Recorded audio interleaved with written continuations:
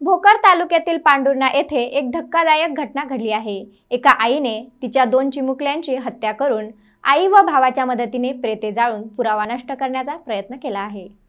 भोकर तालुक्यातील पांढुर्णा येथे आईने दोन चिमुकल्यांची हत्या करून आई व भावाच्या मदतीने पुरावा नष्ट केल्याची घटना घडली आहे. या प्रकरणी भोकर पोलीस स्टेशनमध्ये पहाटे तिघांविरुद्ध गुन्हा दाखल करण्यात आला. धुरपताबाई गणपत निमलवाड वय तीस राहणार पांडुर्णा असे प्रमुख आरोपीचे नाव आहे. आरोपी महिला पांडुर्णा येथे शेत शिवारात आखाड्यावर पती आणि दोन वर्षीय मुलगा आणि अवघ्या चार महिन्याच्या मुलीसह राहत होती. तर सासू सासरे दोघे अन्न दुसऱ्या शेतात वास्तव्यास होते. आरोपी धुरपता दत्ताबाई निमलवाड हिने एकतीस मे ते एक जून सायंकाळी सहा वाजताच्या कालावधीत मुलगा दत्ता गणपत निमलवाड वय दोन वर्ष आणि मुलगी अनुसया गणपत निमलवाड वय चार महिने या दोघांची पांडुर्णा शिवारात हत्या केली. त्यानंतर आरोपीने आपली आई कोंडाबाई पांडुरंग राजेमोड आणि भाऊ माधव पांडुरंग राजेमोड दोघे राहणार ब्राह्मणवाडा तालुका मुखेड. यांच्या मदतीने दोन्ही मयत लेकरांचे प्रेत जाळून पुरावा नष्ट केला.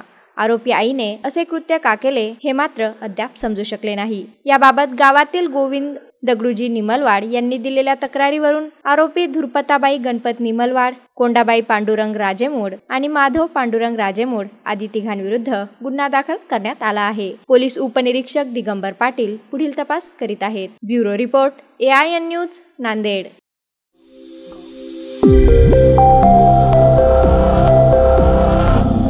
A news. शोध सत्याचा वेद बातमीचा.